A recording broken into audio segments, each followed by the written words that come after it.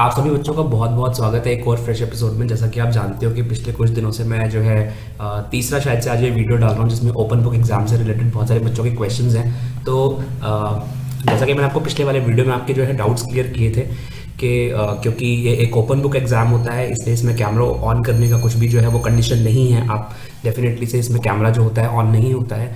लेकिन टीचर्स जो होते हैं ऑन इन्विजिलेशन ड्यूटी होते हैं और किस तरीके से होते हैं, वो आपके व्हाट्सएप ग्रुप पे आप लोगों से कनेक्टेड रहेंगे। देखिए मैं जो भी बातें बता रहा हूँ वो अपने कॉलेज से रिलेटेड बता रहा हूँ और सभी कॉलेज का मोर और लेस एक जैसा ही होगा, क्योंकि सब आते तो दिल्ली यूनिवर्सिटी के अंदर ही हैं और उसके गाइडलाइंस जो होती है मोर और लेस एक जैसी ही होती है। तो सभी टीचर्स जो है व्हाट्सएप के ऊपर अवेलेबल रहते हैं। उसमें क्या होता है कि जैसे ही आपका पेपर जो है, आपका जो है पेपर पब्लिश होगा तो वैसे ही आपसे जो पूछा जाएगा कि आपको पेपर मिल गया है तो बच्चे अपना रिस्पॉन्स देंगे कि आप सबको पेपर जो है रिसीव हो गया है। ऐसे ही जब आप पेपर अपना जब डिपॉजिट करेंगे तो आप व्हाट्सएप के ऊपर टीचर को इन्फॉर्म करेंगे और टीचर जो है वो नोट करते हैं कि इस बच्चे ने पेपर जो है अपना डिपॉजिट कर दिया है। कई सारे बच्चे प्रॉब्लम फेस करेंगे, कईयों का पेपर अपलोड नहीं होगा तो उस केस में आपको बताया जाएगा कि इस ईमेल आईडी के ऊपर करना है, लेकिन ईमेल आईडी के ऊपर ना करने के लिए मेरा सजेशन है कि ईमेल आईडी के पेपर को अपलोड ना करें। कल मैं एक वीडियो देख रहा था, किसी ने ऐसे डाला हुआ था कि ओपन बुक एग्ज़ाम एक बहुत बड़ा स्कैम है, और इस तरीके से बहुत ही नेगेटिव व्यू पॉइंट डाले हुए थे। देखिए यूनिवर्सिटी ऑफ़ दिल्ली ने जो है ये सब डिसीज़न जो लिए थे, वो ये देखते हुए लिए थे कि बच्चे बहुत सारे जो है ऐसे रिमोट एरियाज़ में भी रहते हैं जहाँ पे इंटरनेट फैसिलिटी नहीं होती है और ओपन बुक एग्ज़ाम के अलावा और कोई ऑप्शन नहीं था, नहीं तो पूरा एजुकेशन सिस्टम जो है वो बंद हो जाता तो ये एक अच्छा डिसीज़न था मेरे हिसाब से कि यूनिवर्सिटी ने जो है वो कहीं ना कहीं एग्ज़ाम को जो है कंटिन्यू किया और एग्ज़ाम ले लिया। बाय द वे बहुत सारे क्वेश्चंस हैं आप लोगों के जो अभी भी आ रहे हैं और क्योंकि एग्ज़ाम होने वाला है शुरू तो मेरा जो है वो था, मेरे अंदर से था कि ठीक है, मैं बच्चों को एटलीस्ट एग्जामिनेशन से रिलेटेड आपको जो भी क्वेरी है, आपकी जो है क्लियर कर दूँगा। कुछ बच्चों ने ओके तो मैं आता हूँ आपकी आपकी ही, आप बच्चों की ही क्वेरीज के ऊपर। एक बच्चे ने पूछा है कि, सर रोल नंबर हमें कैसे और कब मिलेगा? रोल नंबर डेफिनेटली से आपको जो है teacher in charge T I C जो है, आपको जो है प्रोवाइड करेगी। और ये जो इन्फॉर्मेशन है, ये जो आपको व्हाट्सएप ग्रुप पे आ जाएगी या ईमेल के थ्रू आ जाएगी, जैसे भी आपसे टीचर्स कम्युनिकेट करते हैं। और ये कब आएगी? क्योंकि प्रैक्टिकल एग्ज़ाम शुरू होने वाला है सिक्स सिक्स ऑफ़ मार्च से तो मोस्ट प्रोबेबली उससे पहले ही जो है आ जाएँगी। आपके कॉलेज में कब प्रैक्टिकल एग्ज़ाम है, आप कमेंट बॉक्स में मुझे ज़रूर से बताना, क्योंकि प्रैक्टिकल एग्ज़ाम जो होते हैं वो वेरी कर सकते हैं कॉलेज टू कॉलेज इसीलिए मैंने ऐसा कहा। और लेकिन जो आपका जो एग्ज़ाम होगा जब फाइनल एग्ज़ाम होगा, जो थेरेटिकल एग्ज़ाम होगा, वो सबका एक ही दिन होगा, एक ही समय पे होगा। एक बच्चे ने ये पूछा है, और आई थिंक ये हर किसी के मन में होगा ये क्वेश्चन कि ओबीई एग्ज़ाम के आंसर जो है गूगल पर मिल जाते हैं या पेपर हार्ड होता है। डेफिनेटली से पेपर हार्ड नहीं होता है पेपर नॉर्मल पेपर की तरह ही होगा। चार questions total open book exam में जो गाइडलाइंस में दिए गए थे वो होंगे। और चार क्वेश्चन में से हर एक क्वेश्चन आपको बताया था कि 18.75 मार्क्स का होगा। क्वेश्चन uh, आपको सिक्स मिलेंगे करने के लिए। उनमें से फोर आपको चूज़ करने होंगे। आप कौन से चार करना चाहते हो? तो कोई भी आप फोर क्वेश्चन अटेम्प्ट कर सकते हो।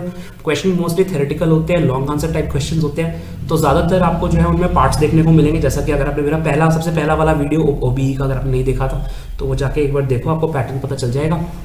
उसके अलावा बच्चे ने पूछा है कि, सर अटेंडेंस के मार्क्स जो है वो नहीं है? आपने पिछले वीडियो में बताए थे कि अटेंडेंस के मार्क्स हैं। देखिए अटेंडेंस के मार्क्स जो है वो नहीं है। बिल्कुल ठीक है यूनिवर्सिटी ने जो है ये पॉइंट कंसिडर करते हुए बोला था कि बहुत सारे बच्चे जो हैं वो रिमोट एरियाज़ में रहते हैं, उनको इंटरनेट का इशू रहता है, वो कई बार क्लास ज्वाइन नहीं कर पाते तो कहीं ना कहीं अटेंडेंस का इशू रहता है। लेकिन ना, एक अटेंडेंस का एक फैक्टर होता है जो बहुत ही, जो टीचर्स ना अपने अपने लिए कंसिडरेशन में लेते हैं। मतलब उसमें ये होता है कि आपकी रेगुलरिटी बड़ी मैटर करती है। ये होता है कि आपका कॉन्टिन्यूस एवेल्युएशन आपकी रेगुलरिटी आपकी प्रेजेंस आपका प्रेजेंस ऑफ़ माइंड हर चीज़ को जो है देख के जो है किया जाता है। uh, कुछ बच्चों ने पूछा है सर फ़र्स्ट ईयर वालों के लिए सेकेंड सेमेस्टर ऑफलाइन होंगे? सेकेंड सेमेस्टर ऑफलाइन होंगे इस इतनी जल्दी इस बात का आंसर नहीं किया जा सकता क्योंकि आपको भी पता है कि कंट्री जो है वो किस दौर से गुजर रही है और जल्दी से जल्दी हर कोई चाहता है कि एजुकेशन सिस्टम जो है खुले। तो आ, सिर्फ़ कई अब देखिए स्कूल्स भी खोल दिए गए हैं लेकिन कॉलेजेस नहीं खोले गए हैं। बेसिक रीज़न ये है कि कॉलेजेस में बच्चे जो हैं वो जो है वो हॉस्टल में रहते हैं। इसीलिए कॉलेज ओपन नहीं किए जा रहे हैं। नहीं तो अदरवाइज़ कॉलेज को सबसे पहले खोला जाना चाहिए था। तो कॉलेज खोल ना खोलने का बेसिक रीज़न यही था कि हॉस्टल फैसिलिटीज़ नहीं है कई सारी यूनिवर्सिटी ऑफ़ दिल्ली के कॉलेजेस में। और इनक्वालिटी हो जाती है। जिनके पास में है वो खोल लेंगे जिनके पास नहीं है वो नहीं खोलेंगे। तो वो इनक्वालिटी की वजह से नहीं खुल पा रहा है। और अदरवाइज़ आई थिंक सबसे पहले कॉलेज खुल जाने चाहिए थे। एक बच्चे ने पूछा सर फ़ी रिफंड कब से होगी? बच्चे फ़ी रिफंड का मुझसे मत पूछो प्लीज़ क्योंकि फ़ी रिफंड का इन्फॉर्मेशन टीचर्स के पास में बिल्कुल भी नहीं होता है। I am very very sorry लेकिन आपको मैं छोटा सा गाइडेंस दे देता हूँ, अगर आप मेरी बात समझ पाए तो।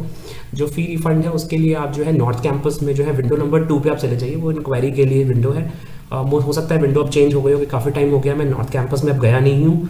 और क्योंकि हम अपने कॉलेज में ही रहते हैं और कैंपस जो होता है, हमारा जाना बहुत कम होता है, वो भी क्योंकि वहाँ क्योंकि वहाँ जब हम स्टूडेंट होते थे, तब तब वहाँ इंक्वायरी के लिए जाया करते थे। अब अब इस बात को भी दस पंद्रह साल हो चुके हैं। आई थिंक अगर किसी को अपनी प्रैक्टिकल डेट मिल गई है तो आप मुझे कमेंट में बताइए। हमारे कॉलेज की जो है, वो सिक्स से शुरू हो जाएँगे और शायद ग्यारह को खत्म हो जाएँगे। हाँ कुछ बच्चों ने पूछा है कि सर मॉर्निंग और इवनिंग कॉलेजेस का पेपर सेम होता है? नो बच्चों मॉर्निंग और इवनिंग कॉलेजेस का पेपर अलग होता है। ठीक है? तो इस बात को भी कंसिडरेशन में लेते हुए आप जो है चलेंगे। चलिए बोला sir sir set A B C होगा क्या? तो मैं पहले बता चुका हूँ सेट्स नहीं होते हैं इसमें। आई थिंक मैंने शायद नहीं बताया। मच वॉचिंग दिस वीडियो ठीक है? और अगले वाले वीडियो में एक बार ज़रा आपको दिखा दें, एक बार एग्जामिनेशन पेपर चेकिंग कैसे होती है तो एक अगला वाला वीडियो उसके ऊपर भी एक बना देते हैं। क्योंकि एक्चुअली क्या होता है कि बहुत सारे बच्चों के कमेंट्स आ जाते हैं तो वो वाली चीज़ जो है रह जाती है। इनके बारे में बात करना चाहता हूँ शायद से इस वीडियो में जो है वो ख़त्म करने से पहले। वो ये कि सर हैंड से लिखना पूरा सबमिट करना होता है। एक बच्चे ने पूछा, सर पेपर को हाथ से लिखना होता है? बिल्कुल डेफिनेटली पेपर को हाथ से लिखोगे कंप्यूटर में एग्ज़ाम हो रहा है, इसका मतलब डेफिनेटली तो ये नहीं है कि आपको टाइप करना है। नहीं पेपर जो है हाथ से ही लिखना होगा। पेपर बिल्कुल वैसे ही होगा क्वेश्चन पेपर करना होगा। अगर आप कहते हो तो मैं अगली एक वीडियो बना देता हूँ जिसमें किस तरीके से आपको सही तरीके से पेपर को अपलोड करना है, आपको पता होना चाहिए। क्योंकि एज अ टीचर मैं आपको एक दो शीट्स दिखा के आपको बताऊँगा, देखो इन बच्चों ने क्या क्या गलतियाँ की हुई हैं और ये गलतियाँ आपको नहीं करनी चाहिए। एकदम परफेक्ट पेपर होना चाहिए ताकि लगे कि आप एकदम जो है पहली बार एग्ज़ाम नहीं दे रहे हो। मुझे लगता है मैं आज की वीडियो को यहीं तक रखता हूँ। Thank you very much watching this video bye